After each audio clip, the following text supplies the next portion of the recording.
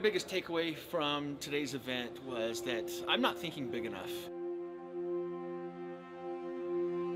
You come away with a family. You come away with a tribe. Everybody. Yeah, a lot of people should come to this event. It's Any very- business owner.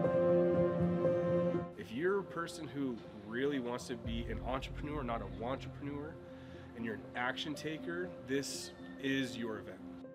I think this event will help me define my purpose and just really get down to what I want and who I want to influence.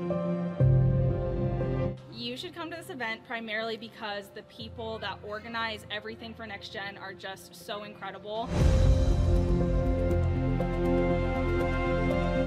Travis is amazing. He has just a terrific presence. He is able to focus in on any individual and extract what it is they're holding back on. I loved Travis's ability to feel people out.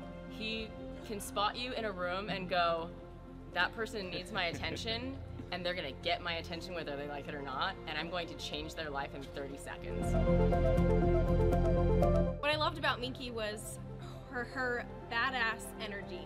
Just that compassionate yet direct way of showing up for, for the people that she serves. Love how she can command attention. Uh, there's something about her spirit that demands respect, and and she owns it. I love it.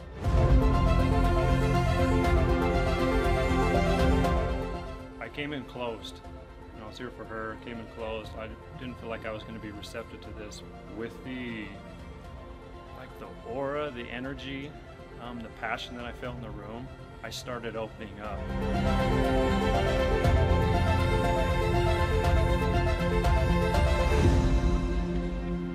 This shit is badass.